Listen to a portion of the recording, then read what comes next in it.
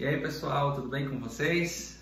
Estamos de volta com mais um vídeo e hoje eu vou falar com vocês sobre o livro, né? Como nós devemos pensar sobre o dinheiro do R6 Pro e a gente tem discutido bastante, né? Nós temos uh, refletido sobre como o cristão deve não só pensar, mas agir em relação ao dinheiro e como isso é, é, é, é algo que é do nosso dia a dia e que a gente às vezes não para tanto para pensar assim, né? Uh, eu tenho refletido bastante nesses últimos dias. O livreto é, desse que eu estou falando com vocês, ele é bem pequeno. Né? Você pode baixar ele gratuitamente na, na Amazon, acredito que você pode baixar lá. E ele está em inglês, né? não sei se tem versão dele em português, mas assim é muito interessante. São coisas práticas diárias que às vezes a gente exclui o cristianismo delas porque a gente pensa que não tem nada a ver às vezes. Né? Mas Deus se importa demais. E eu estava lembrando, lendo esse livro, que eu, eu, eu fui traduzir um pastor e, e a pregação dele, é, ele falava sobre finanças. E no lugar onde ele, eu estava traduzindo ele, aqui em João Pessoa, era assim, eu acho que tinha umas mil pessoas no, no auditório, muito grande, e ele estava falando sobre finanças, e no momento lá ele disse, olha, eu quero que vocês fiquem de pé, aqueles que não têm dívida, aqueles que que não tem nenhuma dívida no cartão de crédito, nada, nada, nada. E eu acho que nesse auditório lotado, somente umas cinco pessoas se levantaram. E o pessoal ficou nervoso, né? E rindo de nervoso, e começaram a rir todo mundo.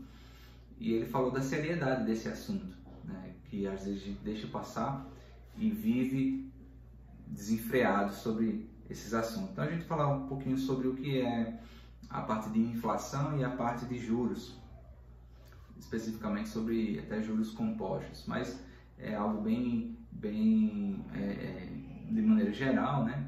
E, e breve, tá? Então, na parte de, de inflação, é, é, o que, a parte de definição, né? O que significa é, a inflação? É basicamente o seu dinheiro, ele, ele é o mesmo dinheiro, né? Digamos assim, 100 reais, só que agora ele vale menos. O poder de compra dele é menor. Ah, imagina que você tem ah, um banco, o, o, cara paga lá no banco uma, uma, uma, nota de 10 reais falsa e ele consegue pagar. E aí no banco vai ter lá essa nota de 10 reais falsa. Ou seja, quer dizer que o banco registrou lá os 100 reais que tem no banco geral, mas na verdade ele tem 90 porque essa nota é falsa. Então ele diz que tem 100, mas o seu poder de compra é, é 90, é menor.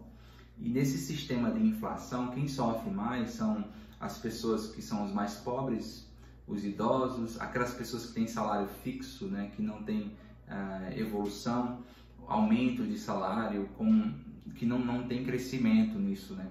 Então eles sofrem muito. É como se você tivesse, por exemplo, uma banquinha de suco na frente da sua casa e você vende o suco a 50 centavos e cada suco vale um real e você cada vez mais que você vende pior fica então a, bola de neve só faz aumentar né? então como como é, a gente tem que perceber a inflação que ela afeta a sua família ela afeta a sua casa a sua vida os bens que você que você está inserido nós estamos vivendo um momento crítico hoje de pandemia onde está tudo aumentando, né? o seu dinheiro está perdendo de valor e as pessoas estão sem condição de comprar coisas. Ah, muitas vezes o, o, salário não aumenta na proporção que a inflação aumenta. Né? Então, quem tem dinheiro na poupança, por exemplo, ele não está nem acompanhando a inflação. Então, é uma situação muito delicada que tem que se preocupar com isso, tem que buscar entender mais sobre isso, como é que eu posso é, não só entender sobre a inflação, mas na verdade abrir a mente para ter ideias de como é que eu posso ter outro canal de faturamento para minha casa, como é que eu posso ganhar dinheiro com outra coisa. Isso não é ser ganancioso, isso é usar a mentalidade que você tem, né, a, a imagem e semelhança aqui dada por Deus, para você adquirir outros meios para trazer proteção para sua família, cuidado em um momento tão difícil, né? Eu ainda diria mais, vá para o online, que a, a, a, o crescimento só está começando agora, né, no meio online. E na outra parte, é, a parte de juros, né, como é que nós devemos uh, administrar os recursos que Deus nos deu. É, tem gente, eu conheci uma pessoa que disse assim, eu vou fazer um consórcio um financiamento, eu vou financiar um, um, um consórcio de moto, eu vou, eu vou, fazer um consórcio de uma moto, eu vou fazer um consórcio, um financiamento de um carro, para eu poder investir o meu dinheiro. E ele está somente pagando juros para essa instituição, podendo estar tá aplicando o seu dinheiro de outra forma mais é, é, lucrativa, né? O dinheiro dele poderia trabalhar mais para ele.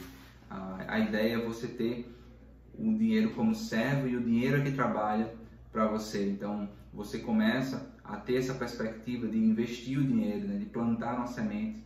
E enquanto você descansa, enquanto você está dormindo, você está fazendo as suas atividades, o, o dinheiro está crescendo. É interessante demais isso, como funciona isso, né? Paulo ele nos diz que, que os dias são maus, então nós precisamos usar o nosso tempo, o nosso recurso de tempo com sabedoria.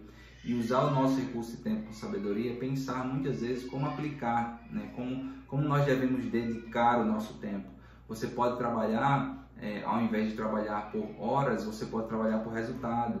Eu conheci um, um, é, uma pessoa que trabalhava com edição de vídeos, né? e ele trabalhava para uma empresa.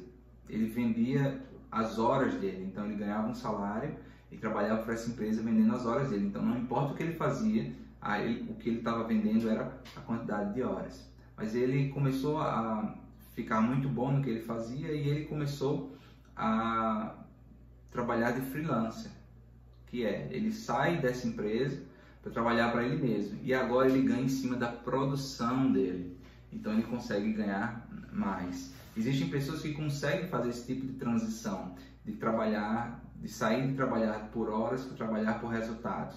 É, não, não, necessariamente estou dizendo que tem que ser agora, você lá joga tudo para cima e sai. Você precisa fazer uma transição.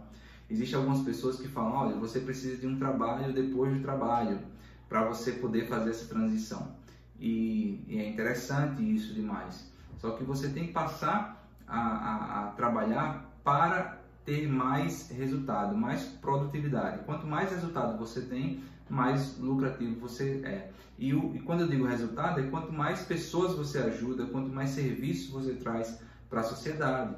E todo mundo sai beneficiado com isso, né? Eu digo lá na, na minha escola que quanto mais a gente vende, mais pessoas são transformadas de vida. Mais pessoas falando inglês, mais pessoas fazendo outros tipos de curso. Então não tem nada de errado em querer vender mais. Querer vender mais é ajudar as pessoas, mais pessoas com isso. Então tem que ter muito essa mentalidade do que você faz é bom, um serviço, um bom serviço de boa qualidade para que as pessoas sejam beneficiadas com o que você tem para oferecer. Tá? Ah, então Deus nos chama para trabalhar com sabedoria, com disciplina e um dos maiores problemas que nós vemos hoje são pessoas que estão desperdiçando dinheiro. Ah, o dinheiro sendo desperdiçado. Eu já vi várias vezes pessoas dizendo assim, é, mas esse negócio de ser rico é, é, é tá errado esse pensamento de querer ah, aumentar o seu patrimônio e tudo mais. Ah, é verdade, dependendo da motivação do coração da pessoa, está muito errado mesmo. E a Bíblia várias vezes ela nos ensina sobre os perigos disso, tá? Mas por outro lado, a Bíblia nos chama para sabedoria. E buscar sabedoria, buscar conhecimento né, é, é, sobre as coisas que nós usamos diariamente é a nossa função como cristão. Nós devemos usar nosso cérebro, usar nossa cabeça, administrar os bens que, que o Senhor nos deu. Jesus ele fala é, parábolas sobre pessoas que desperdiçam os recursos e pessoas que dobram os recursos.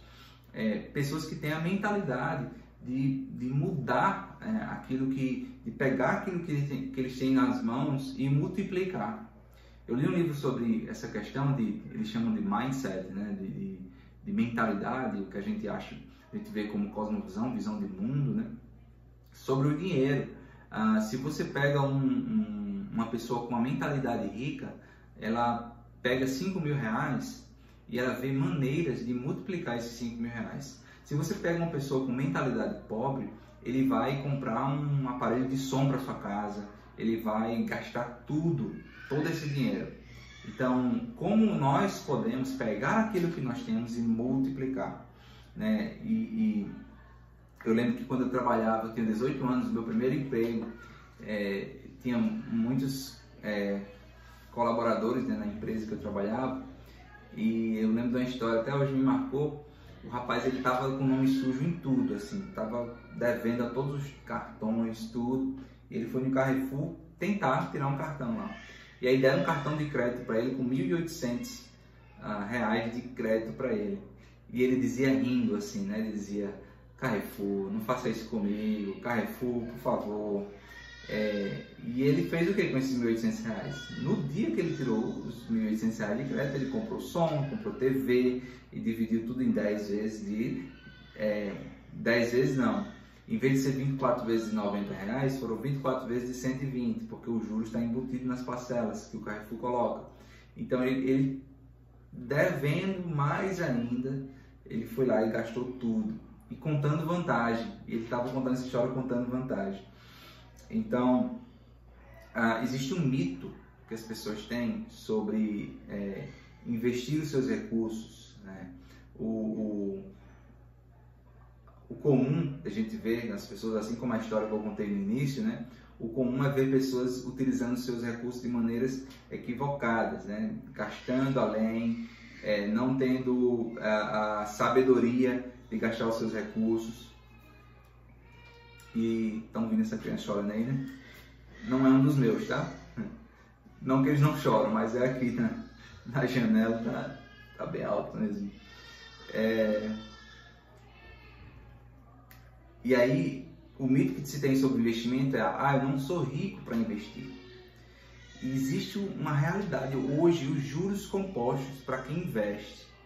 Pessoas que investem o seu dinheiro e ele está lá investindo mil reais por um ano, todo ano, investe mil reais, um ano inteiro, sei lá, paga lá 80 reais por, por, por mês.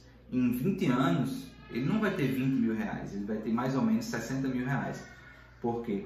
Se eu considerar aí 10% ao ano né, de, de, de lucro, ele vai ter isso por causa dos juros compostos. A cada vez que ele vai ganhando, o dinheiro vai se multiplicando. E essa perspectiva de juros compostos, ela funciona tanto para a lucratividade como para as dívidas. Deixe de pagar uma, uma, uma, parcela do cartão de crédito para você ver o tanto que é os juros compostos é na, na, do outro lado da dívida. É enorme, enorme. Então as dívidas também, só que no caso das dívidas são muito maiores os juros né, do que do ganho, é, instantaneamente falando. Né? Um juros no cartão de crédito, sei lá, 18, 20%. É, é altíssimo. Então nós somos chamados para administrar bem os nossos bens, tá? Então, ah, por, que, que, por que, que as pessoas não investem? Por que, que as pessoas não pegam do seu recurso, sei lá, 50 reais por mês, 100 reais por mês e investem? Por causa do, ah, da tentação de uma gratificação imediata.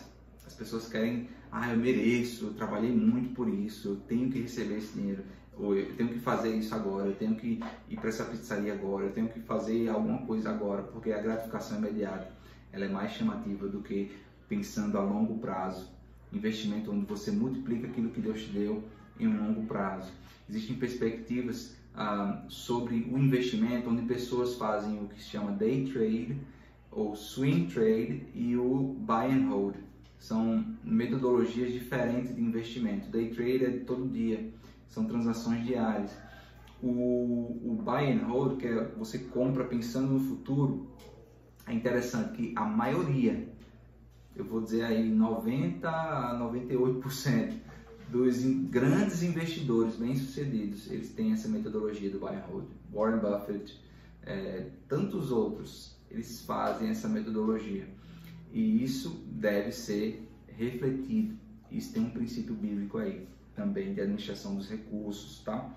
Então, os juros compostos funcionam dessa forma. Nós somos chamados a sermos imagem e semelhança de Deus e aplicar os nossos recursos com sabedoria, tá bom? Que Deus abençoe vocês. Reflitam sobre, sobre essa questão dos juros compostos. Eu vou marcar aqui algumas pessoas que falam sobre investimento, que falam sobre a, como você administrar o seu dinheiro. Você pode até perguntar para elas como você pode fazer isso e que